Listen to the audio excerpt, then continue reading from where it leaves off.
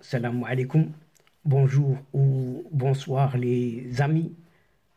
J'espère que vous allez bien partout où vous vous trouvez. En tout cas, c'est ce que je vous souhaite. Et pour le meilleur de toutes les situations, bien sûr. Bienvenue sur votre chaîne Bled Maralibia, qui attend comme toujours vos encouragements dont nous avons bien besoin. Merci surtout pour vos gentils commentaires, pour vos appréciations, vos compliments et vos précieux, mais vraiment précieux conseils. Surtout, abonnez-vous pour rester très informé et faites abonner les gens qui sont autour de vous tout simplement. Cette séquence vidéo se penche cette fois-ci sur un certain royaume marocain qui fait face à une grave pénurie d'eau, où il est question de lancement d'études pour deux projets, en tout cas c'est le commencement de stations de dessalement d'eau de mer. En effet, cette ONE, ONE, O-N-W-E, Office national de l'électricité et de l'eau potable, et ici, dans ce cas-ci, c'est la branche de l'eau qui a lancé un appel d'offres portant sur la réalisation des études spécifiques et détaillées de mise en place de deux projets de dessalement d'eau, d'eau de mer dans les zones de Gelmim et Saouira. Et le royaume marocain a, comme vous le savez, une population de plus ou moins 35 millions d'habitants et ce nombre devrait augmenter dans les années à venir. Et les ressources en eau du pays sont limitées et la demande en eau augmente. Cela est dû à un certain nombre de facteurs, notamment le changement climatique. Et ça, ça n'échappe à personne. La croissance démographique et le développement économique, surtout dans le pays. Néanmoins, la technologie peut jouer un rôle pour aider le Maroc à surmonter cette euh, pénurie d'eau. Il existe un certain nombre de technologies qui peuvent être utilisées pour conserver l'eau ou pour produire de l'eau à partir de sources non traditionnelles. Et certaines de ces technologies incluent, premièrement, le dessalement. Le dessalement, cette technologie, peut être utilisée pour transformer l'eau de mer, par exemple, en eau douce. Et le dessalement est un processus relativement coûteux, mais il peut être une source précieuse dans les régions où il n'y a pas d'autres sources d'eau douce. Deuxièmement, la récupération de l'eau de pluie. Et cette technologie peut être aussi utilisée pour collecter l'eau de pluie et la stocker pour une utilisation ultérieure. La collecte des eaux de pluie est un moyen relativement peu coûteux de collecter de l'eau et peut constituer une source d'eau précieuse dans les zones où les précipitations sont faibles surtout. Troisièmement, le recyclage des eaux grises, dites grises, et cette technologie peut être aussi utilisée pour recycler les eaux usées des maisons et des entreprises. Les eaux grises sont ces eaux usées des éviers, des douches et des machines à laver. Il peut être utilisé pour irriguer les jardins et les pelouses ou pour tirer la chasse d'eau, par exemple, des toilettes. Quatrièmement, les appareils économes en eau. Utiliser ces appareils. Il existe un certain nombre d'appareils très économes en eau disponibles sur le marché.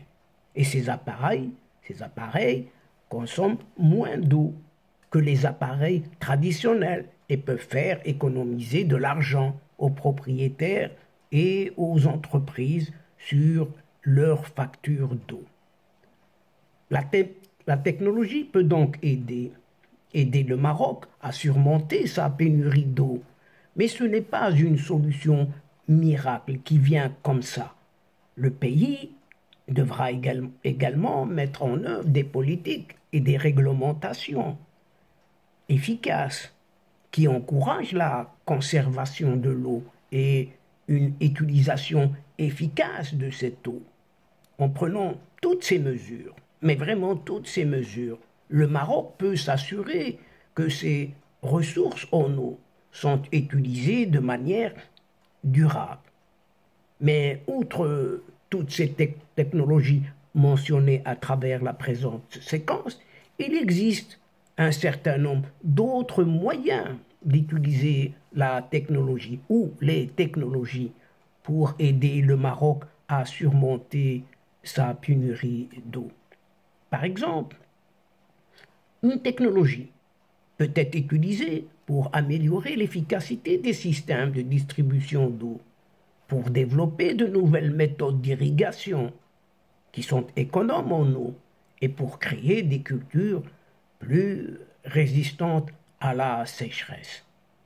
Mais en utilisant la technologie de manière globale et coordonnée, le Maroc peut faire des progrès significatifs pour relever ces défis liés à l'eau.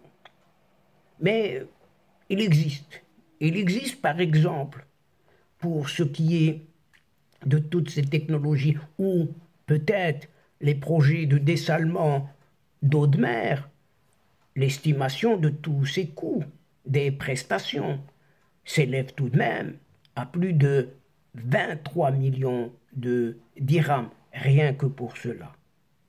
Revenons maintenant au projet. Ce projet, ce double projet prévu à Guelmim d'une certaine capacité de la future station de dessalement, qui est d'environ, excusez du peu, 35 millions mètres cubes par an, et contre, et contre un autre projet, Sawira cette fois-ci, la capacité est d'environ 53 millions de mètres cubes par an.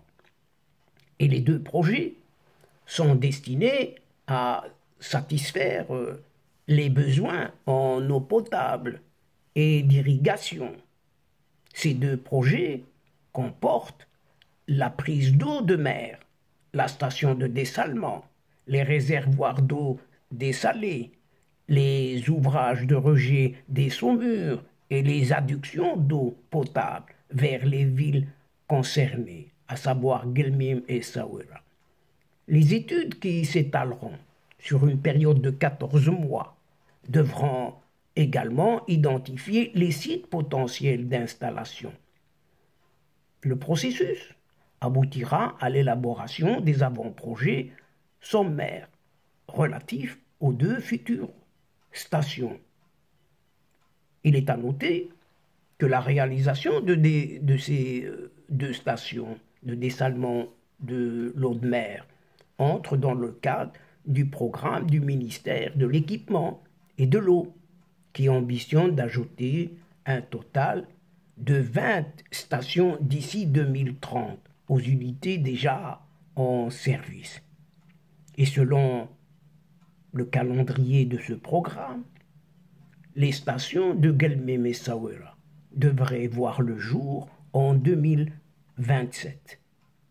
Rappelons aussi que le 9 mai dernier, le roi Mohamed VI a présidé une séance de travail consacrée justement au suivi du programme national pour l'approvisionnement en eau potable et l'irrigation 2020 2027. Et au cours de cette réunion, le souverain marocain a donné euh, ses instructions pour accélérer euh, les projets de mobilisation des eaux non conventionnelles à travers la programmation des stations de dessalement de l'eau de mer et l'augmentation des capacités de réutilisation des eaux usées traitées. Et donc, chers amis, Mesdames et messieurs, voilà, c'est ici que prend fin cette séquence tout en prenant congé de vous, mais nous espérons vous retrouver très très bientôt avec un immense plaisir et comme d'habitude, bien sûr. Merci pour votre participation de nous suivre jusqu'au bout de ces séquences, mais n'oubliez pas de nous aider mutuellement, d'aider votre chaîne en vous y abonnant, tout simplement pour être informé le plus rapidement possible et comme il se doit.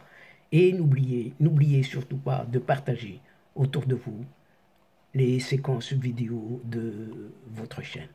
Quant à moi, le moment est juste arrivé pour vous dire au revoir les amis et à la prochaine fois, Inch'Allah. الأصدقاء. السلام عليكم ورحمة الله وبركاته. مع السلامة.